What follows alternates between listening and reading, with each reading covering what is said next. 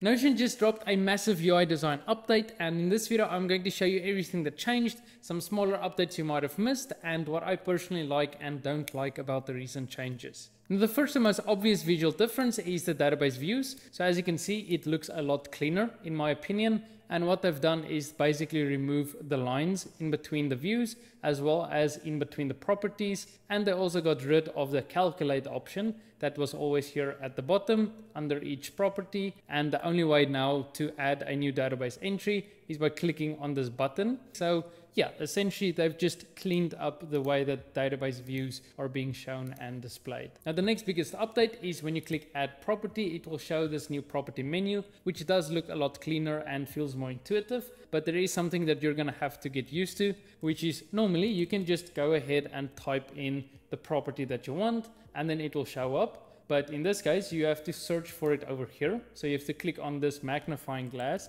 in order to find the property that you're looking for because whatever you type in here at the top will be the name of your property. So as you can see, I can just type in name of the property and click on the property that I want and it will automatically have the name. And that's also another thing. When you select a property, usually it pops open the property where you can then immediately rename it. But in this case, you click on add property, first add in the name of the property and then you click on the property that you want. So that'll be something that I would need to get used to because my muscle memory is sort of trained to just add property, type in what I want and click it and then immediately rename. But now I sort of have to do everything in reverse but this does make sense and it does feel more intuitive. The next big visual change is the settings. So it's not called the database menu anymore. It's now just settings and the icon is also different.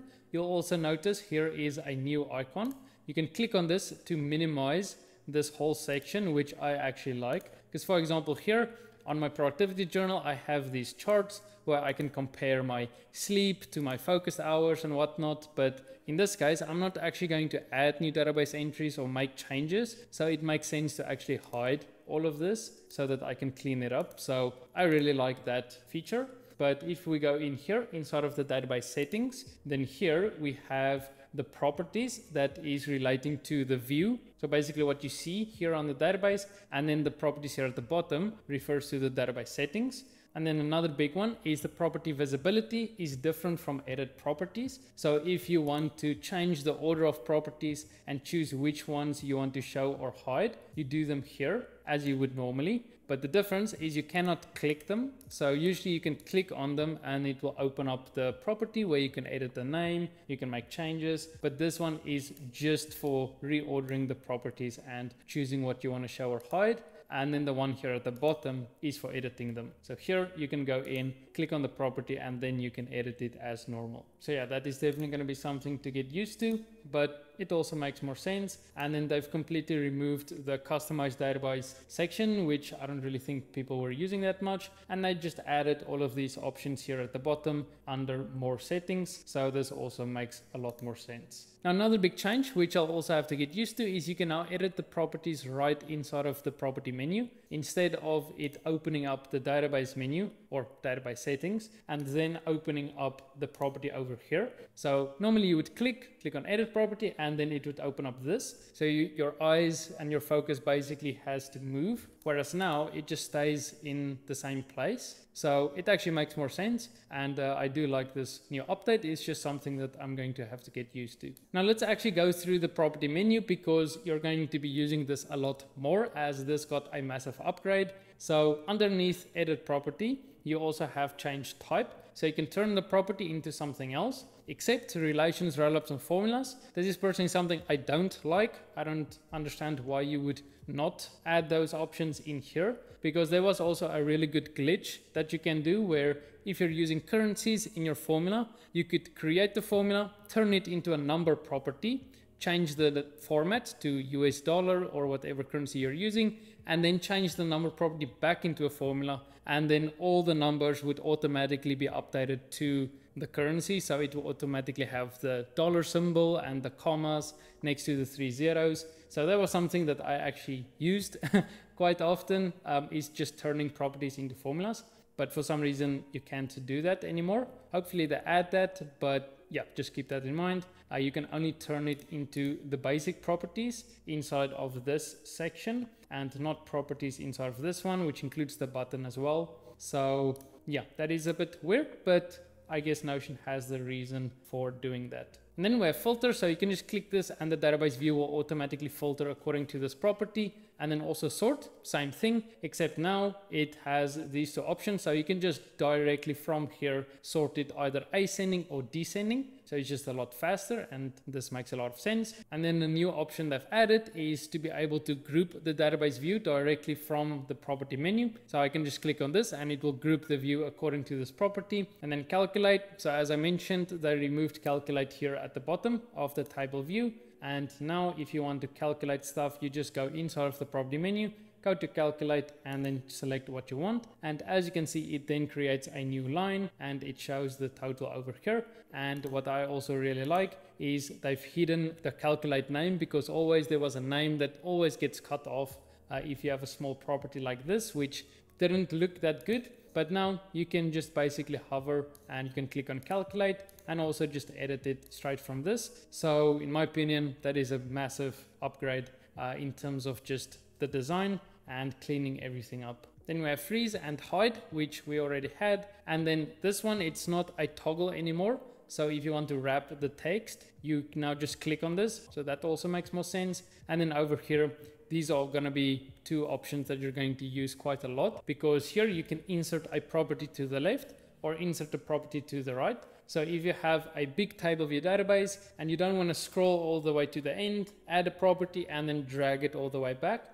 or go inside of the database menu and then drag it. You do it here. So you just click on where you want to add the property and okay, I want to add it to the right. I click on this, opens up the property menu I then give the name of the property and then select what property I want. And then obviously you have duplicate and delete property, which we already had. But yeah, as I mentioned, I have a feeling that people are going to be using the property menu a lot more moving forward. Now the next change is very subtle and it has to do with filters. Firstly, the outline of the filters over here is removed. And if you have a filter setup where it doesn't display any results, it will just show like this. So it doesn't show the actual database where you can add a new database entry. It just shows no filter results, which you can click on in order to open up the filter settings. And then this button where you can then add a page which would then match the filters. Now there is also another small change which you might not even notice, but if I have just one view like this and I choose to show the database title, it will just not show the view at all. So as you can see, normally you would have the database title and then it will show table view or whatever view you have, but now it doesn't show unless I hide the database title.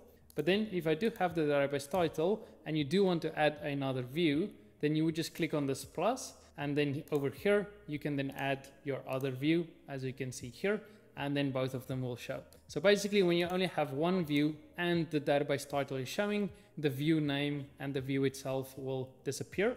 And if you hide the database title, the view will show back again. And also something worth mentioning is that Notion on the phone now looks a lot better because of these visual updates. Because yeah, Notion on the phone was always very messy and clunky, but with this update, it's a lot easier to use on the phone, which is quite good.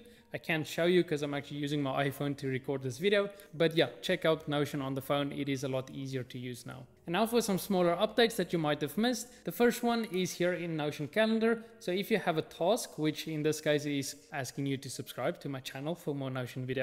If you have a task that has a status property, you can now change the status property directly inside of Notion Calendar. So this is obviously what we want. We want to be able to change and modify our properties in Notion Calendar because otherwise it's essentially just also Google Calendar, just where you can add multiple calendars in one. Like don't get me wrong, it's already really powerful, but it would be nice if you could check off your tasks directly in Notion Calendar and change some properties. So this is a good first step towards that. So if you have a status property, it will then show. And as you can see, I got a little checkbox showing here because the status is done.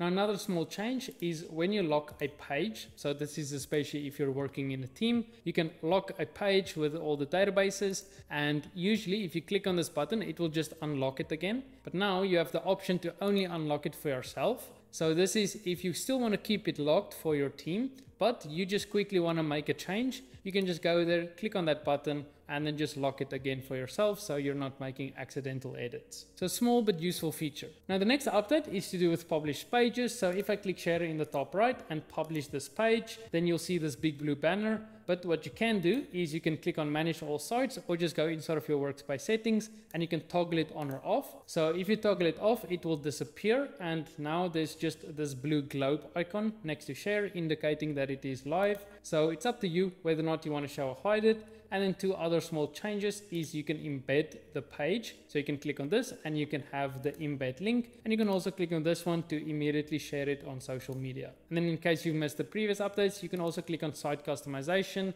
in order to customize the entire site and also add a custom domain and add Google Analytics and tracking links and choose whether or not it's dark or light mode. You can change the navigation bar over here. So you can customize the site a bit more than you can do just by publishing it normally on Notion. Now another small update that you easily could have missed is if you have a select property. So see, I'm, I'm not used to adding the name before I add the property yet. But if you have a select property, let's just add in some random stuff in here.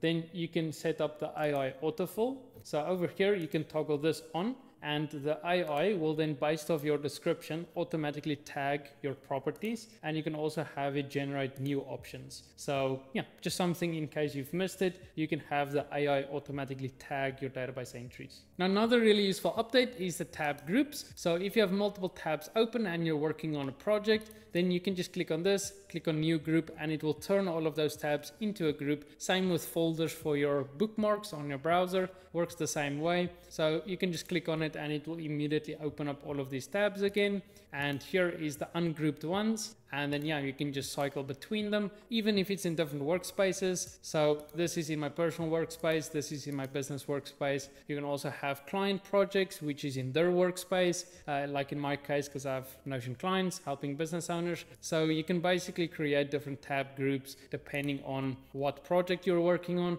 And then it will immediately open up all of those pages. Now two more small updates that's also really useful to know about. On charts, you can now click on the data points and it will actually open up a filtered database view with all of the database entries that counts towards it. And then another one is if you customize the layout of your database entries, you can click on page settings in the top left, and then you can select tabs over here. And this allows you to create different tabs. So this one can show all the properties, and then these can be different linked views. So in this case, this shows all of my completed habits linked to the daily journal. So yeah, this is basically a way to put database entries, database views inside of the property itself based on if it is related to that property or not. So if I just close out of this and open this normally, here you have the normal page content and the properties, but then you can click on this and it will show a filtered view depending on what you want to see. So definitely go play around with all of these different features if you haven't yet. Now, what is my opinion of these new changes? Personally, I really like them. I think it makes sense. It looks clean, it looks minimal, and yeah, it makes intuitive sense why they would make these changes because they are going for the broad general market. So they want to make Notion as beginner friendly and yeah, have it not look intimidating, which I think they've done a good job with these new updates. My only concern is that they're going to simplify it down to the point where it loses functionality, like the number to formula example that I uh, talked about earlier. But all in all, I think it's a good update. It makes sense, and you know you can always count on Notion to roll out new updates. And I know everyone is still waiting for offline mode that is coming soon, but yeah, this is a good update. In the meantime, a lot of small tweaks here and there that they've been rolling out over the past month, and then with a big one yesterday, which is why I'm making this video.